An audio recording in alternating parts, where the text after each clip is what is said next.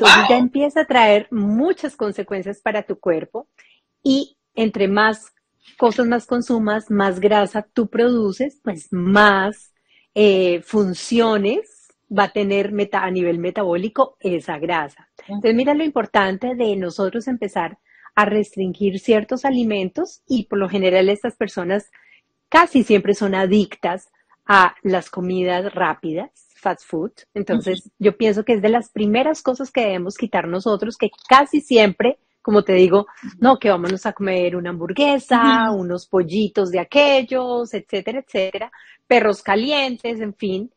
Todo eso obviamente va a impactar en tu salud. Las sodas es otra cosa, por lo general, que estas personas que tienen eso sobrepeso siempre están tomando, porque claro, su cuerpo se los pide, ¿me entiendes? Y empieza a tener más eh, antojos precisamente por estas sodas. Entonces, lo importante es tratar de suspender las sodas. Oye, mi la comida rápida. ¿El azúcar provoca endorfinas? Claro, tiene un sentimiento de mucho placer, por eso es que no lo pueden dejar.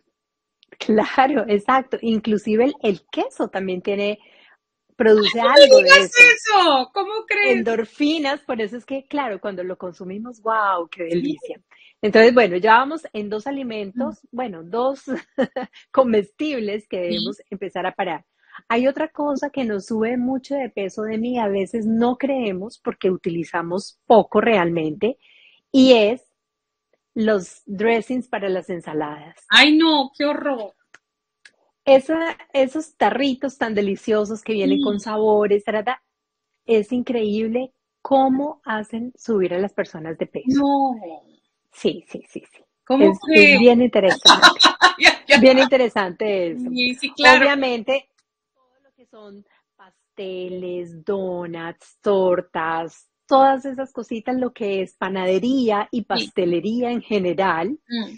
Claro, si, si tú estás ya consciente y quieres empezar a bajar de peso, mm. debes empezar a consumirlas muy ocasionalmente.